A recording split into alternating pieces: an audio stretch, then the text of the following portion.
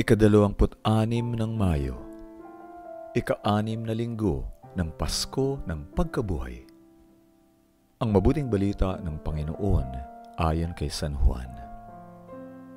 Nagwika si Jesus kay Judas, hindi ang Iskariote.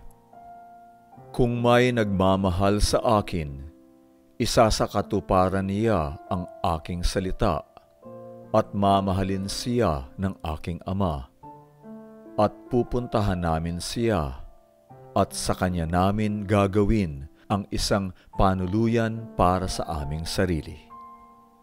Ang hindi naman nagmamahal sa akin ay hindi nagsasakatuparan sa mga salita ko. At ang salitang inyong naririnig ay hindi sa akin, kundi sa amang nagpadala sa akin. Sinabi ko sa inyo ang mga ito habang kasama pa ninyo ako. Ituturo naman sa inyo ng tagapagtanggol ang lahat. Siya ang Espiritu Santong ipadadala ng Ama sa ngalan ko at ituturo niya sa inyo ang lahat at ipaaalaala niya sa inyo ang lahat ng sinabi ko sa inyo. Kapayapaan ang iniiwan ko sa inyo. Ibinibigay ko sa inyo ang aking kapayapaan. Hindi tulad ng pagbibigay ng mundo ang pagbibigay ko nito sa inyo.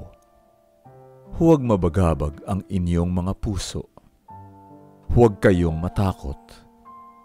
Narinig niyong sinabi ko sa inyo. Paalis ako, pero pabalik ako sa inyo kung minahal niyo ako, magagalak sana kayo sa pagpunta ko sa Ama, sapagkat mas dakila sa akin ang Ama. Ngunit sinasabi ko na ito ngayon sa inyo bago mangyari, upang maniwala kayo kapag nangyari ito. Ang mabuting balita ng Panginoon.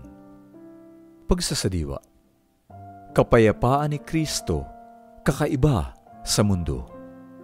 Kapayapaan ang iniiwan ko sa inyo. Ibinibigay ko sa inyo ang aking kapayapaan. Hindi tulad ng pagbibigay ng mundo ang pagbibigay ko nito sa inyo. Ano nga kaya ang pagkakaiba ng kapayapaang bigay ni Kristo sa kapayapaang bigay ng mundo? Anong mga magkasalungat na katangian ang maaari nating pagnilayan? Una, ang kapayapaang dumarating pagkatapos ng isang digmaan ay maaaring nagdadala ng katahimikan at pagkakaisa. Subalit, hindi natin batid na sa kaibuturan ng puso ng mga nasawing panig ay nananatili pa rin sa kanilang kalooban ang galit. Ang kapayapaan na nararanasan ng isang bansa o isang lahi, halimbawa, ay panandalian lamang Samantala, ang bigay na kapayapaan ni Kristo ay nananatili sapagkat hindi lamang panglabas ang karanasang ito, kundi sa puso at damdamin ng bawat isang tao. Kahit na may mga gulo sa kapaligiran, ang taong pinananahanan ng kapayapaan ni Kristo ay nananatiling panatag ang kalooban. Pangalawa, ang kapayapaang dala ng mundo ay laging may kondisyon. Samantalang ang kapayapaang bigay ni Kristo ay buong buo at walang anumang pagtatangi. Katulad ng mga nilalagdaang kasunduan ng anumang ahensya sa pangbansa o pangbuong mundo, ang kapayapaang pinag-uusapan ay may napapaloob na mga kasunduan o kondisyon Walang pinipili si Jesus at walang itinatangi. Ang sinumang nagnanais na mamuhay sa kapayapaan ay pagkakalooban ng Diyos sapagkat ito ay isang regalo ng Diyos. Sa isang awit, ito ang sinasaad. If there's one more gift I ask of you, Lord, it would be peace here on earth.